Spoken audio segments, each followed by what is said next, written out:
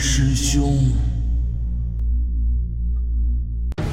文杰，二师弟，你你不是已经……大师兄，你为何放走冰妖，害我惨死？都是我的错，文杰，害得你等惨死。你应该以死谢罪。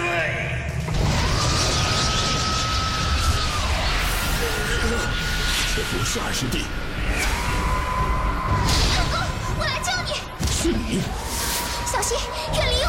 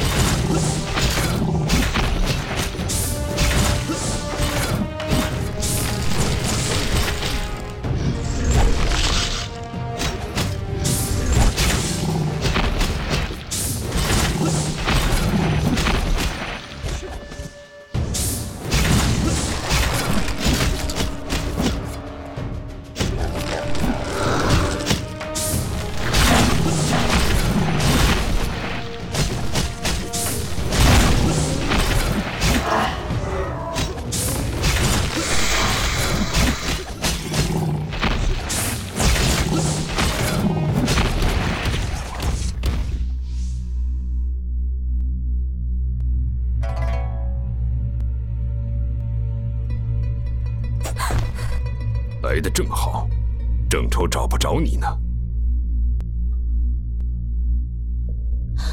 恩公何以如此？你陷害三位一众师兄弟，还在这里装蒜？说，萧王现在何处？那日恩公将我放走后，我便逃离了雪山，不知恩公何出此言？还敢扯谎！我若真的要加害恩公，方才又怎会施救？望恩公明鉴。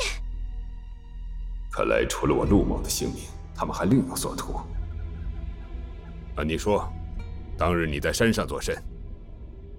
当日萧王在山里肃清异类，奴家的父母为助我逃脱，惨遭毒手。然下山逃亡途中，奴家又被恩公的师兄弟擒获，幸得恩公出面保全，才得以活命。